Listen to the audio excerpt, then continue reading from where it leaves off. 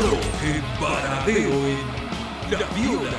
Para Varadero vamos a poner lo mejor que tenemos del asador. Hablamos con los protagonistas del festival que celebra su décima edición y que se va a llevar a cabo en Semana Santa. Que cumpla 10 años un festival hecho todo a pulmón, es una alegría. La Viola con Fermo Linero Viernes a la medianoche por TN.